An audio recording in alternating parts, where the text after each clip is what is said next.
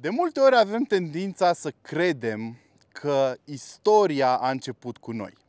Și de multe ori avem tendința să uităm de ce s-a întâmplat în trecut, să uităm de origini, să uităm de niște lucruri care ne-au proiectat practic viața noastră așa cum e astăzi și ne-au adus în punctul în care suntem. De aceea astăzi mi-am dorit să aduc în fața voastră două mașini din generații complet diferite, care au fost construite la 20 de ani distanță, pentru a vă arăta nu numai cum a evoluat acest model, respectiv Opel Astra, ci și cum a evoluat industria per total și de ce în momentul acesta anumite companii iau niște alegeri, iau niște măsuri, iau niște decizii care pentru unii dintre voi s-ar putea să pară ciudate. Haideți să vorbim despre cum a evoluat Opel Astra în ultimii 20 de ani și încotro se îndreaptă industria.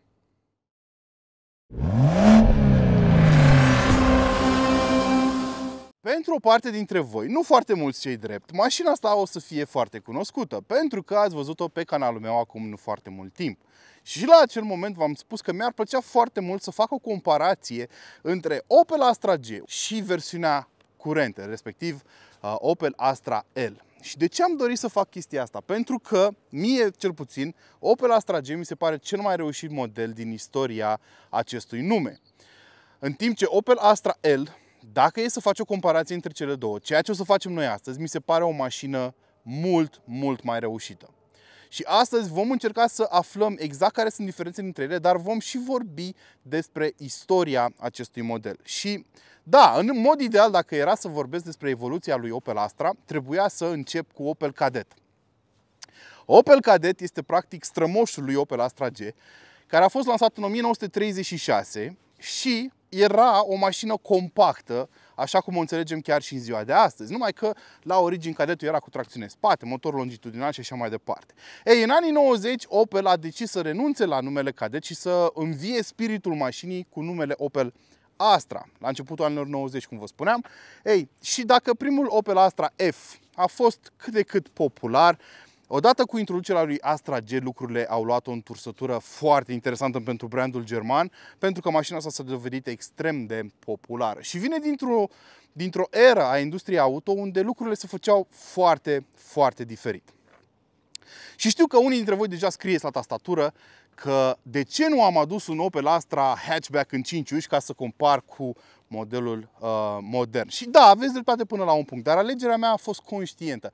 Am vrut să aduc acest Opel Astra G în variantă Bertone Coupe, să-i spunem, pentru a vă arăta exact cât de mult s-au schimbat lucrurile în industrie. Pe vremea aia, cum spun bătrânii, la sfârșitul anilor 90, începutul anilor 2000, Opel Astra era oferit în versiune cu 3 uși hatch, 5 uși hatch, berlină, caravan, adică break-ul clasic, decapotabilă, cupe și versiunile Bertone, pentru că Bertone era oferit în versiune cupe, dar și în versiune decapotabilă. Deci aveai o paletă extrem de largă din care puteai să alegi. Designul mașinii era subtil diferit în funcție de versiunea pe care o alegeai.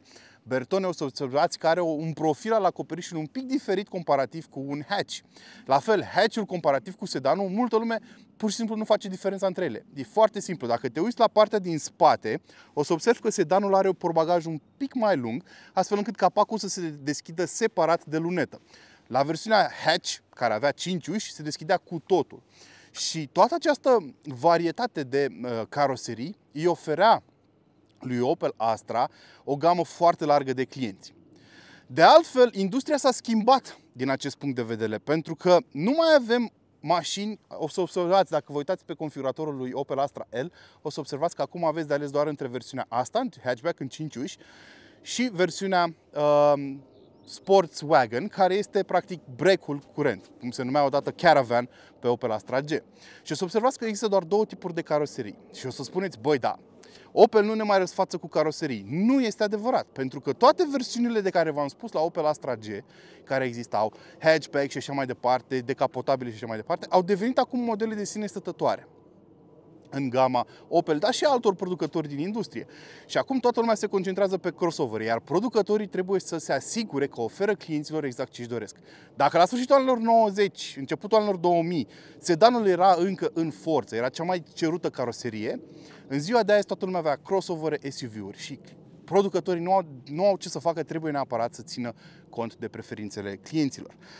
Dar dacă e să ne uităm și la designul mașinii, comparativ cu modelul nou, da, aici avem un design semnat de Bertone și o să vedeți, bineînțeles, sigla din spate de pe ușă care îți spune că mașina asta este desenată de compania italiană. Avem niște forme un pic diferite, un, niște forme care, din punctul meu de vedere, vor fi timeless.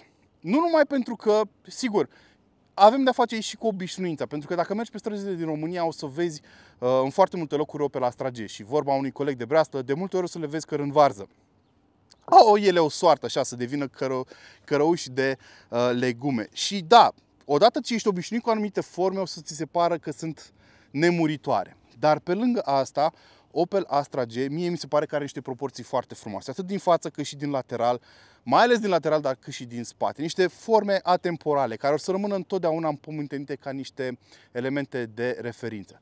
Dacă trecem la Opel Astra L, veți observa că arată mult mai modern și este absolut normal, avem 20 de ani diferență între mașini.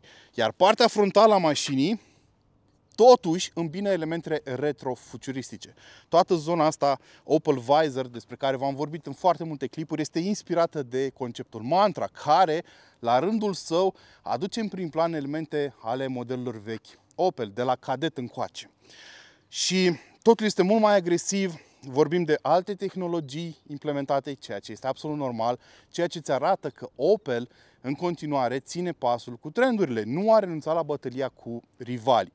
Și dacă e să comparăm cele două mașini, sigur, foarte multă lume ar alege modelul nou. Dar eu sunt foarte curios cum va rezista acesta în fața testului timpului. Pentru că, deși forma aceasta ne place în acest moment, doar o evoluție de peste 20 de ani ne poate spune dacă va rămâne sau nu uh, relevantă pe termen lung.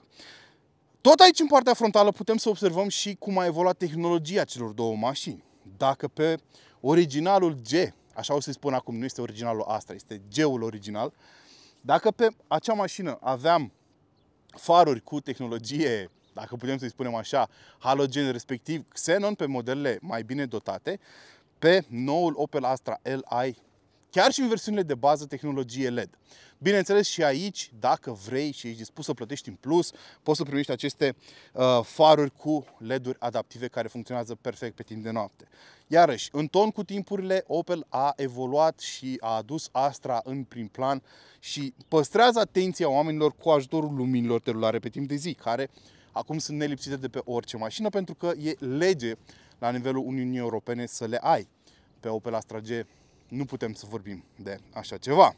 Nu o să trecem în lateralul mașinilor să vorbim despre profilul lor, pentru că vă spuneam că um, acestea au caroserii diferite și am ales special un Bertone comparativ cu un hatchback să arăt cât de mare era varietatea oferită clienților la sfârșitul anilor 90. Dar nu pot să nu remarc faptul că, și o să rog cameramanul să meargă cu mine acum, faptul că vechiul Opel avea aceste uși fără rame. Și eu întotdeauna am fost super fascinat de principiul ăsta de funcționare, să-i spunem, da?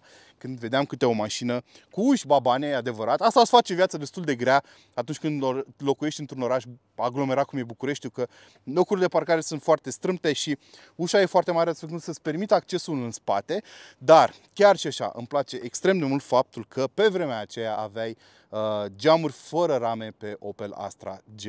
Ceva ce sigur o să ne lipsească nouă celor împătimiți pasionați de mașini. Și dacă tot am spus asta, mai e un motiv pentru care Opel a decis de-a lungul timpului să scoată foarte multe modele de caroserie din gamă. Pentru că uh, ca orice companie trebuie să se concentreze pe ceea ce ale clienții. Și dacă nouă ni se pare că mașina asta poate că este mai frumoasă ca forme, apreciem un vehicul cu două uși sau cu trei uși, dacă la sfârșitul zilei majoritatea clienților aleg un tip de caroserie, producătorii nu au de ales decât să țină în producție acel tip de caroserie, să se concentreze pe el, să-l rafineze foarte bine și o să vedem imediat când ne urcăm la interior cât de mult a evoluat și interiorul acestei mașini și să ofere clienților ceea ce cumpără și își doresc cu adevărat. Bun, haideți să ne urcăm și în mașini să vedem cum s-au schimbat lucrurile de-a lungul a 20 de ani și apoi, bineînțeles, să le și conducem să vedem cum se compară. Iată-ne așadar ajuns la interiorul originalului Opel, dacă putem să-i spunem așa, la bordul lui Astra G. Uh, și sunt sigur că pentru foarte mulți dintre voi aceste forme sunt extrem de familiare. Sunt sigur că aveți amintiri foarte drăguțe legate de acest interior. Uh, care pentru o mașină care are peste 20 de ani, eu zic că a rezistat foarte bine. De altfel, unul din motivele pentru care foarte mulți români au ales Opel de-a lungul timpului este pentru că oferea un raport calitate-preț foarte bun. Era un brand german și știm foarte bine despre legenda fiabilității mașinilor germane, mai ales de pe la sfârșitul anilor 90, începutul anilor 2000, fix tipul acesta de mașină și foarte mulți le alegeau, vă spuneam, pentru această combinație de uh, raport calitate-preț foarte bună. Dar pentru o mașină de 20 de ani, mie mi se pare că a rezistat destul de bine acest interior și n-a fost neapărat întotdeauna foarte îngrijit. Și știu, o să comparați mașina asta cu un model nou, care are 11.000 de kilometri. Și știu că o să fiți foarte critici, dar țineți cont de faptul că ce vedeți aici a acoperit 260.000 de kilometri. Așa ca să vă faceți o idee despre câți kilometri a acoperit mașina asta. Și totuși rezistă foarte bine. Vorbim de materiale moi pe bord. Aici avem un plastic moale în jurul acestei console centrale care arată bine încă, după părerea mea, îi se încadrează foarte bine în linia generală a bordului. Bine, aici avem zona de climatizare, avem un castofon aftermarket al proprietarului pentru că a decis să îmbunătățească sistemul audio și în spate aici am fi avut un ecran care ți afișat diferite informații utile, de la dată, temperatură, până la, pe anumite versiuni mai bine echipate, computer de bord și așa mai departe. Aici avem însă o priză de încărcare wireless cum o să vedem și în cealaltă mașină, dar ceva adaptat făcut de proprietarul curent. Jos aici avem schimbătorul de viteze manual, bineînțeles, avem o cutie manuală pe această mașină. E important de menționat faptul că Opel Astra G a existat și cu cutie automată și aici avem butoanele pentru scaune încălzite cu mai multe trepte. O chestie pe care nu o vedeai foarte des în acea perioadă pe mașinile care nu erau neapărat premium, pentru că Opel Astra n-a fost neapărat o mașină premium, ci mai mult una de volum și un succes comercial pentru cei de la Opel. Volanul și el a rezistat decent de-a lungul timpului. Da, avem aici o gaură la, la claxon, ceea ce îți arată faptul că în București, în România, vei abuza de claxon destul de des. Și o chestie particulară pentru modelele astea este faptul că nu ai claxonul pe butucul central, trebuie să apeși pe aceste zone ca să funcționeze. O chestie pe care eu am învățat-o de hard way în momentul în care am făcut accident la un moment dat, dădea unul cu spatele și până am găsit eu unde să apăs ca să, uh, să, să-l claxonez, să-l atenționez, a intrat în mine și după aia am găsit și butonul și am apăsat ca prostul pe Gen, după ce s-a întâmplat, știi? Ta, ta, ta. Ok. Tot pe această mașină avem un interior de piele și atunci când vezi pielea cu patină, cum se spune, adică cu un pic de istoric în spate, o să o vezi așa lucioasă, pentru că așa devine pielea în timp, pe măsură ce o folosești. Devine lucioasă. Pielea nouă este mată la uh, culoare și Iarăși, pentru o mașină cu atât de mulți kilometri, mi se pare că a rezistat foarte, foarte bine testului uh, timpului. În spate nu o să ne mai urcăm, pentru că nu are rost având în vedere configurația mea, dar vă asigur că este loc de ajuns pentru persoane de până la 1,70. Uh, bun, acestea fiind spuse, haideți să ne urcăm să vedem cum au evoluat lucrurile pe noul Opel Astra L. Uh, iată cum arată un bord de Opel Astra în uh, era modernă. Și da, e un model în pas cu timpurile, e un model care ține cont, vă spuneam, și o să tot bat nota uh, pe acest uh, detaliu, e un model care ține cont de ceea ce vor clienții. Și clienții vor tehnologie, materiale bune și ergonomie. Pe partea de ergonomie, mașina stă foarte bine pentru că, spre deosebire de alți rivali din segment din acest moment, nu a renunțat complet la butoanele fizice. Avem aici taste sub formă de claviatură pentru diferite funcții pentru climatizare. Aici avem iarăși niște scurtături pentru alte funcții și poți să controlezi mașina foarte ușor fără să-ți iei ochii de la drum. Bineînțeles, în continuare avem un ecran care e de așteptat într-o mașină modernă în ziua de azi, dar se mișcă foarte bine, poți să-l configurezi tu absolutamente cum uh, vrei. Și spre deosebire de vechiul model, unde aveam într-adevăr un ecran aici, dar mult mai mic și cu o funcționalitate mult mai redusă. Acum, în spatele volanului avem încă un ecran care funcționează pe post de instrumentar de bord. Și da, diferența față de vechiul Astra, care avea un instrumentar analog, aici avem mult mai multe informații, afișarea informațiilor mult mai diferită față de acolo. Și e absolut normal, vă spuneam, pentru că cei de la Opel nu au stat pe loc. Putem să vorbim de ergonomie, deci nu mi se pare că, știți, de foarte multe ori oamenii spun că modelele vechi aveau o ergonomie mult mai bună pentru că erau mai mult analog. Nu mi se pare că pe modelul nou am pierdut foarte mult din ergonomie, dar asta nu pot să spun de toate modelele de pe piață din acest moment. Mă refer strict la Opel Astra.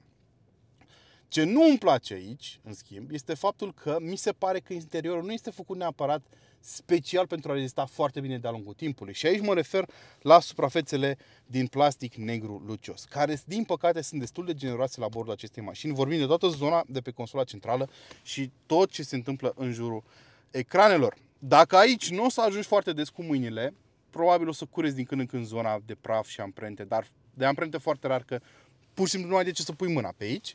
Ei, aici lucrurile se schimbă și tare și curios să văd cum va arăta toată această zonă peste 20 de ani de folosință, pentru că deja observ niște zgrieturi foarte fine și am spus asta la foarte multe modele testate în ultimii ani. Se pare că producătorii o iau razna cu acest negru lucios din plastic, care într-adevăr arată bine, dar în timp nu cred că va rezista foarte bine uh, ca și duritate, ca fiabilitate. Și da, încă o diferență uriașă comparativ cu acel model. Nu mai avem un schimbător în această zonă, de-aia avem și mult mai multe spații de, de stocare. Uh, avem doar un selector de viteză pentru cutia automată. Da, și Opel Astra G avea cutia automată la dispoziție, dar nu era la fel uh, de rafinată ca cea de pe acest model și la fel de avansată. Vom vorbi despre asta când pornim la drum. Plasticul de pe bord este în continuare moale, devine o tradiție atunci când ai plastic moale pe bord timp de 20 de ani.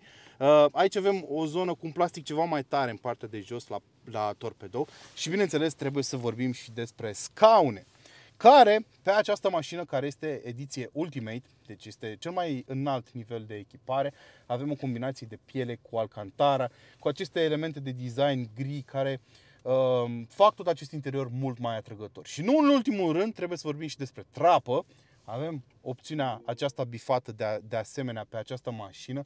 O trapă uriașă care se și deschide tocmai în spate, aproape deasupra pasagerilor spate, care aduce foarte multă lumină la interior, o atmosferă mult mai relaxată, creează o atmosferă mult mai relaxată uh, și, bineînțeles, dacă o deschizi complet, aduce practic o mai... transformă practic asta într-o mașină aproape decapotabilă, deși în gamă nu mai există așa ceva. Bun, Acestea fiind spuse, haideți să le și conducem, să vorbim despre motorizări, că și acolo sunt foarte multe diferențe importante și să tragem și o concluzie, nu?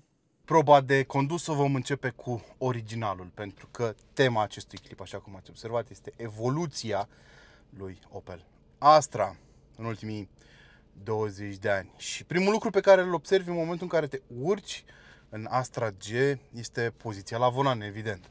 Uh, mi-a fost destul de ușor să găsesc poziția cât mai apropiată de poziția confortabilă la volan, pentru că, nu știu de ce, dar am impresia că stau destul de sus. Uh, în Opel Astra G și scaunul vă asigur că este dat la maxim în jos. Dar poziția la volan e destul de sus, poate că sunt eu un pic de dimensiuni ceva mai mari și am impresia că acoperișul coboară foarte mult spre uh, creștetul meu. Și parcă, parcă mă simt un pic claustrofob în versiunea asta, în, în Astra G. Nu foarte mult, mă așteptam, sincer, să stau un pic mai jos. Și cred că de aici vine conflictul dintre așteptările mele și cum se întâmplă în realitate în mașină. Dar Vizibilitatea este foarte bună și acum hai să ne punem la drum. Cutie manuală, așa cum se purta pe vremea aia, pe vremea aia, sincer, cutiile automate erau excepția de la regulă, nu erau regula cum se întâmplă în ziua de azi. Dar e o cutie manuală foarte ok din punctul meu de vedere, o timonerie precisă. Cursele, uh, cursa atunci când schimbi treptele este destul de scurtă, se putea mai bine, dar nu este uh, rea deloc și ambreiajul are feedback clasic, așa cum se întâmpla pe vremea aia. Adică simți exact când cuplează și te poți obișnui foarte ușor cu el. Pedala este foarte ușoară, adică nu ai nevoie de un efort foarte mare ca să poți să folosești ambreiajul. Iar asta înseamnă că în condiții de trafic greu mașina va fi ușor de utilizat. Și da, deja am mers 50 de metri și m-am cam obișnuit cu ambreiaj. Nu e perfect, dar m-am obișnuit. Ei, acum trebuie să vorbim și despre platforma tehnică a mașinii și despre motorizările pe care le aveai la dispoziție în acele vremuri. Și pe partea asta s-au schimbat foarte multe uh, lucruri, pentru că în acele timpuri existau norme, normele de poluare euro, dar nu erau nici pe departe atât de stringente ca în ziua de azi și producătorii nu trebuiau să facă atât de multe eforturi ca să se încadreze în limitele acceptate. Și dacă te uiți pe, nu știu, configurator, mă rog, dacă te uiți în istoria lui Opel Astra G, vei observa că erai foarte desfățat pe parte de motorizări. Aveai, de exemplu, pe benzină, motorizări de la 1.2 la 1.4, 1.6, 1.8, 2.0, 2.2. Aveai și propulsoare turbo în gama de sus a, a Opel Astra și o varietate foarte mare de niveluri de putere. Iarăși pe partea diesel aveai motorizări de 1.7, 2.0, 2.2 iarăși cu niveluri diferite de putere. Spre deosebire de ziua de azi în care pe modelele puse la vânzare în ziua de azi de producători auto, nu vorbesc doar de Opel, ai practic două sau trei cilindrei diferite și în rest niveluri de putere modificate uh, cu ajutorul magiei turbinelor, da? pentru că cam toate motoarele în ziua de azi sunt turbo. Ei, pe vremea aia turbo era excepția, iar motoarele erau aspirate și diferența de putere venea în mare parte din diferența de uh, mărime a motorului. Da? Aveai motor de 1.2 care avea mai puțină putere, aveai motor de 1.4 cu mai multă putere, 1.6 și așa mai departe. Și erau și variații pe aceeași cilindre în ceea ce privește puterea. De exemplu, motorul de 1.8 avea mai multe niveluri de putere. Noi aici conducem versiunea, bineînțeles, cu 126 de cai putere, care era alegerea, să spunem, entry level a unui entuziast, da? deci 1.8 126 de cai putere. Pentru o mașină care are o greutate de aproape 1200 de kg, avea un raport de peste 100 de cai per tonă și o performanță foarte bună pentru vremurile alea.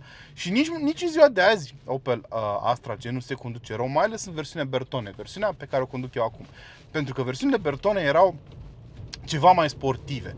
Aveau o suspensie un pic mai rigidă, nu cu foarte mult, dar era un pic mai rigidă, precum și um, o um, gardă la sol mai, mai mică, astfel încât să păstreze centrul de greutate cât mai aproape de sol și să facă mașina mai manevrabilă. Și trebuie să vă spun că mașina se conduce, nu că bine, se conduce foarte bine, chiar și pentru vârsta ei. Uh, mi se pare că e bine echilibrată, mi se pare că are, vă spuneam, destule resurse și nici măcar nu trebuie să turezi foarte mult motorul. Dacă ajungi la 2000-2500 de ture, deja poți să treci în treaptă superioară, dar partea bună e că poți să-l turezi până peste 6000 de ture și abia acolo începe să se simtă mult mai vioaie mașina. Um, și da, vă spuneam și în review complet cu mașina asta că se conduce surprinzător de bine pentru o băbuță de vârsta asta. Ce mi-ar plăcea, în schimb, mi-ar plăcea ca pedala de, de frână să ofere un pic mai mult feedback uh, și să aibă o cursă un pic mai scurtă. Pentru că acum, pe partea inițială a cursei, ai impresia că nu se întâmplă nimic, dar hai să o călcăm un pic, depășim în seria 7. Schimbul de treaptă, foarte precis pentru că simt ce face ambreiajul, e ceva ce lipsește în ziua de azi de pe foarte multe mașini moderne și simt exact când schimbă, când, când să dau drumul și unde să dau drumul ambreiajului atunci când vreau să merg ceva mai tare. Rev matching-ul iarăși foarte ușor de făcut pentru că iarăși simți exact unde cuplează ambreiajul și pedala de accelerație nu este un potențiometru cum se întâmplă pe mașinile moderne.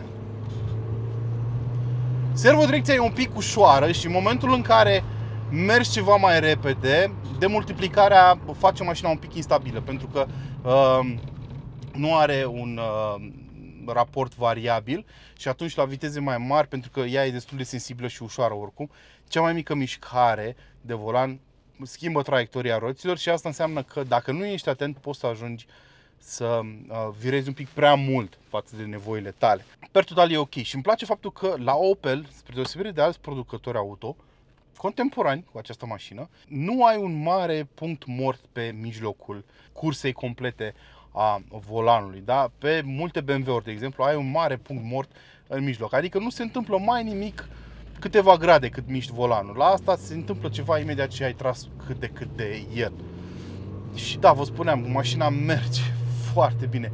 Și sunetul de motor aspirat e ceva ce o să ne lipsească foarte mult. Motorul ăsta de 1.8 în 4 cilindri, sincer, nu sună rău deloc.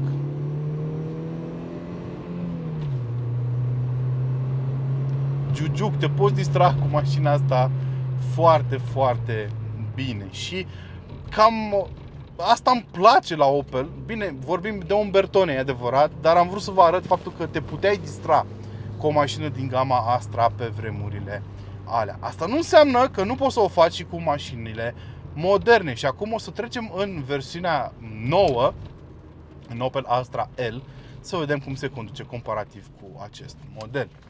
Odată urcat la bordul noului Opel Astra, nu ai cum să nu observi diferențele comparativ cu vechiul Opel Astra G. Nu mă refer la design despre care am vorbit, mă refer la poziția la volan, care în noul Astra mi se pare mult mai joasă.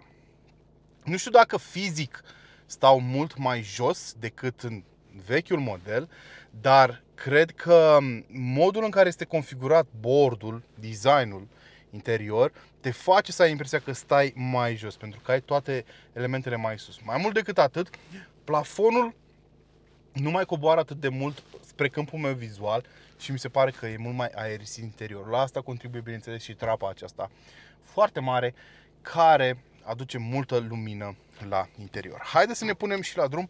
Vizibilitatea nu mai spun că este foarte bună, mai puțin în spate în momentul în care ai pasageri care ridică tetierele, care sunt destul de mari și ocupă destul de mult spațiu în spate. Depinde acum dacă ai sau nu tetierele ridicate, că îți obstrucționează luneta. Hai să ne punem la drum și să vorbim despre partea tehnică a acestei mașini, care este probabil este primul Opel Astra după foarte mulți ani care nu mai este construit pe o platformă GM. Este construit pe platforma EMP a celor de la PSA. Pentru că, da, sub uh, acest uh, design teuton, aș spune eu, ai o platformă franțuzească. Și asta înseamnă că și pe partea de motorizare avem câteva modificări importante. Spre deosebire de acum 20 de ani, producătorii auto s-au adaptat la cerințele legi- legislativului, la limitările pe partea de emisii, dar și la partea pragmatică, pentru că ați observat în ziua de azi există foarte multe motoare modulare și în gama Opel Astra acum ai la dispoziție motoare de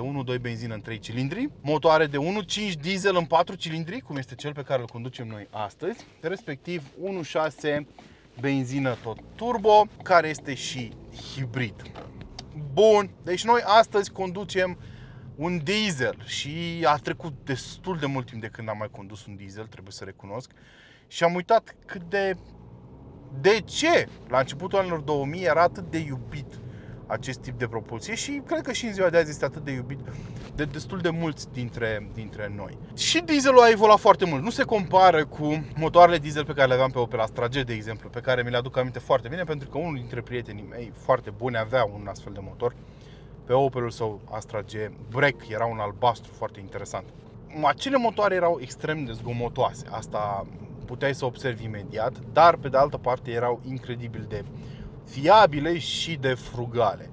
Ei, în ziua de azi avem niște motoare diesel mult mai evoluate, cu tehnologii mult mai bune, care lucrează la niște presiuni mult mai mari, au injectoare care lucrează la presiuni mult mai mari, astfel încât emisiile dăunătoare să fie cât mai mici, dar și că astfel încât mașina să fie cât mai eficientă.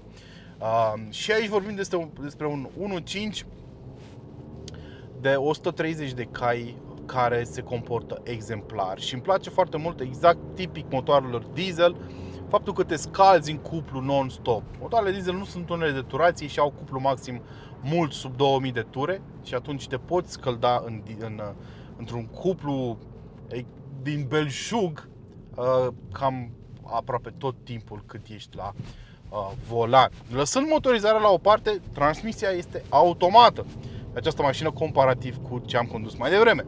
Este o transmisie iSIN cu 8 rapoarte care pe foarte multe modele PSA eu am criticat-o, dar aici se comportă foarte bine și am observat că pe motoarele diesel se comportă mult mai bine. Critica mea în implementarea celor de la PSA, acestei cutii de viteze pe care o găsiți pe foarte multe alte modele, era în primele trepte de viteze că uneori pare un pic nehotărâtă, să-i spunem.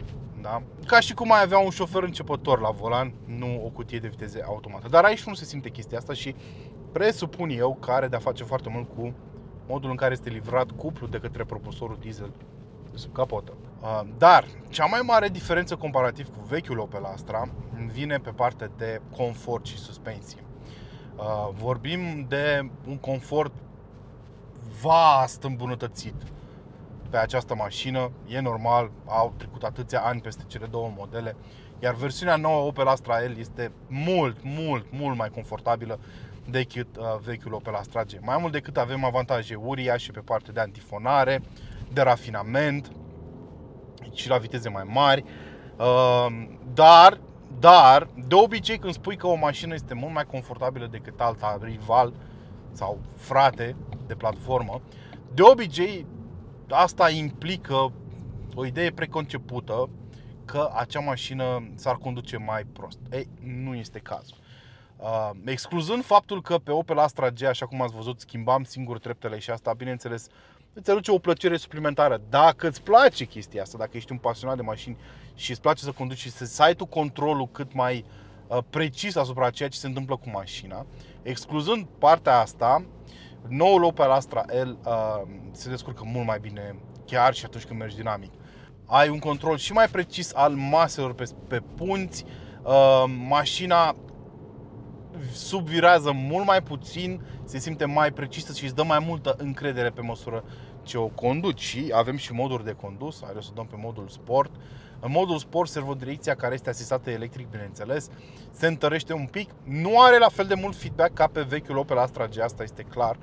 În modul sport, pedala de accelerație devine mult mai precisă, să spunem. Mașina va păstra uh, motorul într-o gamă superioară de ture, pentru a avea mai multă putere la dispoziție mai repede și da, își schimbă puțin caracterul mașina uh, și per total mi se pare mai precisă, mai ușor de controlat și mai distractiv de condus chiar dacă vorbim de un motor diesel. Până la urmă, acest 1.5 își face treaba foarte bine și este destul de cunoscut în industrie ca un motor destul de fiabil de-a lungul timpului. Și până la urmă, cred că diferența cheie între cele două mașini este faptul că se vede clar faptul că producătorul Opel și nu numai, majoritatea industriei, încearcă din răsputeri să răspundă cerințelor clienților. Și deși pentru noi aici adunați pe un canal dedicat mașinilor pasionați, super înrăiți și așa mai departe, putem considera modelul vechi mai distractiv de condus, pentru că este, o spuneam, și, și mulțumită faptului că ai cutie manuală și îți permite un control și mai bun, dar ai și mai mult feedback în servodirecție, ai o pedală de frână care are și mai mult feedback de pedală de accelerație, nici nu mai spun că este analog, nu este un potențiometru ca aici, dar pentru noi entuziaști, sigur, toate aceste elemente creează un avantaj pentru Opel Astra G în această comparație. Dar pentru restul de 95% dintre clienți, faptul că noul model are mult mai multă tehnologie, faptul că este mult mai confortabil, mult mai rafinat, mult mai silențios, mult mai bine antifonat. Deci toate aceste aturi fac Opel Astra L o mașină mult, mult mai bună per total comparativ cu fratele său mai bătrân cu 20 de ani. Iar acestea fiind spuse, haideți să tragem și o concluzie. Așadar, care e concluzia clipului de astăzi? După părerea mea, nu putea fi decât una. Faptul că pe noul Astra se vede foarte mult evoluția din ultimii 20 de ani, nu numai a brandului Opel, ci și a modelului de sine stătător. Este evident că versiunea nouă este cea cu mult mai bună, este în ton cu timpurile, este tot ce trebuie în segmentul compact în ziua de azi. Și după părerea mea, asta înseamnă probleme mari pentru ceilalți rivali din segment. Per total, Opel Astra a fost și cred eu și sper eu, în ciuda nebuniei acestea pe care o trăim astăzi cu SUV-uri și crossovere, cred că va rămâne un nume important în industria auto și sper ca cei de la Opel să uh, nu renunțe la el, cum am văzut că s-a întâmplat și la alte branduri cu nume emblematice care încet încet dispar în neant. Acestea fiind spuse, vă mulțumesc foarte mult că v-ați uitat la acest clip. Sper că v-a plăcut. Am schimbat un pic ritmul astăzi, am făcut ceva mai interesant. Dacă v-a plăcut, dați-mi un like. Dacă nu v-a plăcut, dați-mi un comentariu, dar vă rog să fiți politicoși și dacă mă urmăriți de obicei, nu fiți uh, timizi, apăsați pe butonul de subscribe și poate deveniți membri ai canalului pentru beneficii exclusive. Până data viitoare, nu uitați să vă hrăniți pasiunile. Ciao!